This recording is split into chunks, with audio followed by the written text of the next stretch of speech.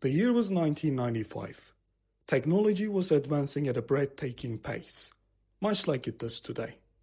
Sony had just launched the PlayStation, revolutionizing the gaming industry with its groundbreaking 3D graphics and offering players an unparalleled experience. That same year, Microsoft introduced its legendary operating system, Windows 95, laying the foundation for the modern user interface we are all so familiar with today. People were encountering a level of design and usability that they have never seen before. It wasn't just hardware and graphics making waves, remarkable breakthroughs were also happening in the world of software. That year saw the debut of a revolutionary programming language, one that would shape the future of the software industry and unlock its endless potential for innovation. It marked the dawn of a new era, I'm sure all you computer science enthusiasts know what I'm talking about Java. Launched by Sun Microsystems, Java would become one of the most influential programming languages in the world. Now you might be wondering, I know Java, but what the heck is a Sun Microsystems? Don't worry, I'll get to that. But first, let's talk about our beloved Java. When I was studying computer science, Java was one of the first programming languages they taught me at the university. Up until that point, I'd been coding on my own, working on my few projects, all written in Python, and naturally, I've wondered why we need this ugly language called Java. I mean, look at how much harder it is to accomplish small tasks compared to another language like Python. Look at how much more code you have to write for the same thing.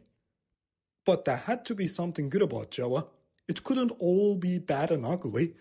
After all, it was one of the most popular coding languages out there. Over time, it clicked. I came to understand the power and purpose of Java. It wasn't about being pretty, it was about being robust, portable, and especially platform independent. Being platform independent might sound straightforward today, but back in 1995, it was groundbreaking. You see, back then, developers had to write separate code for each platform their software was supposed to run on. This made development times two or even three times longer, depending on how many platforms you wanted your application to support. And let's face it, developers hate writing codes, and rewriting the same code over and over again, don't make me even start talking about that. Java solved all of this. Yes, we ended up with some clunky syntax to make it unbreakable and platform independent, but it was revolutionary. Now you might be thinking, hold on, that microsystem something company that you mentioned earlier, they must be swimming in gold right now. They came up with Java after all. Well, not quite. In fact, Sun Microsystems no longer exists, and they barely made any money from Java. Let's dive a little bit deeper into that with a small history lesson. Sun Microsystems was founded in 1982, and by the 1990s, it was one of the hottest tech companies on the planet. They specialized in hardware, software, and everything in between. The company's name Sun actually stood for Stanford University Network, as it was founded by Stanford alumni. Their vision was simple but ambitious create powerful computing systems that could connect to a vast network of users, laying the groundwork of what we call the internet today. Java was born out of this ambition. It was originally developed for an interactive television, but the project took a different direction when its creators realized its potential as a general purpose, platform independent programming language.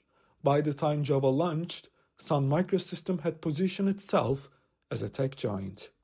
But here's the thing Java's popularity didn't translate into financial success for Sun Microsystems. Why? Well, they made a crucial decision to make Java free.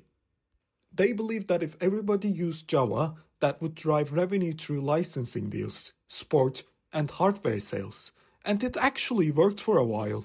Java became the backbone of enterprise software, mobile apps, and even websites.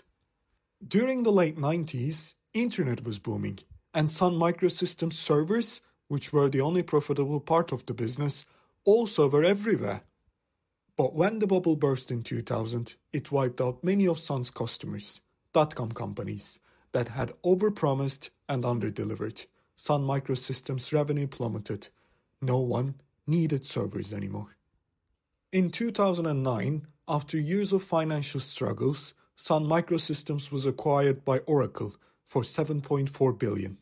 Oracle CEO Larry Ellison saw a huge value in Sun Microsystems assets, especially Java. Unlike Sun, Oracle took a more aggressive approach to monetizing Java, sparking debates and even lawsuits in tech world. But that's a story for another day. Fast forward to today, and Java is still everywhere.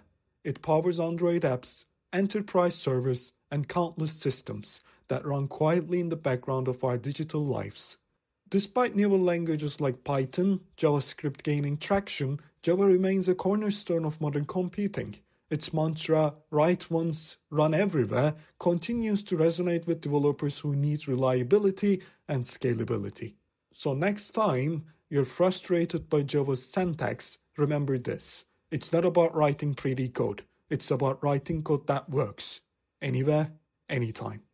In conclusion, the title of this video, Failing with a Visionary Innovation, feels like a bit of an overstatement. I mean, don't get me wrong, at its peak, Sun Microsystem was valued at $200 billion and certainly had the potential to rival companies like Google, Amazon, or even Apple in specific domains. However, calling it a failure seems questionable. I don't know you, but 7.4 billion that Oracle paid still sounds like a significant amount, at least uh, for a peasant like me. Thank you guys for watching. I know that you forgot to like and subscribe, but I'll see you in another video.